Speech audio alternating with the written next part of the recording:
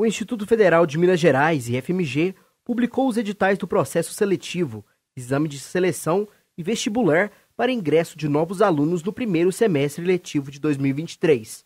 Serão ofertadas 5.023 vagas distribuídas entre cursos técnicos e de graduação. As oportunidades de formação profissional são gratuitas e serão oferecidas nos 18 campos do Instituto. Para ingresso nos cursos técnicos, nas modalidades integrado e subsequente ao ensino médio, os candidatos serão avaliados mediante uma prova agendada para o dia 4 de dezembro de 2022.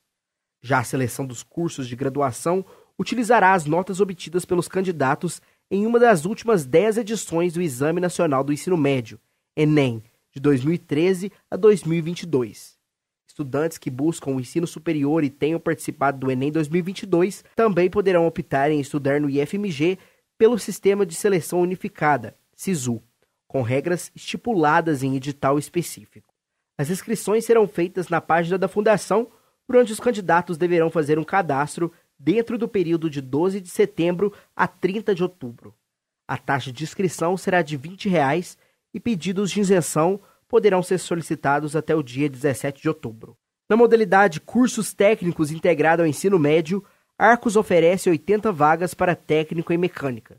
Em Bambuí, são 262 vagas dentre técnico em administração, técnico em agropecuária, técnico em biotecnologia, em eletromecânica, em informática, em meio ambiente. Formiga, 105 vagas. Piuí, 80 vagas. Na modalidade cursos técnicos pós-ensino médio, somente a cidade de Bambuí possui oferta, sendo 30 vagas para técnico em agropecuária.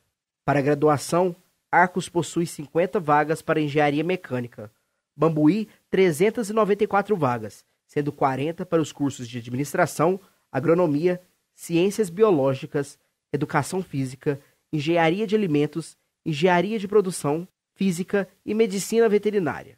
44 vagas para zootecnia e 30 para engenharia da computação.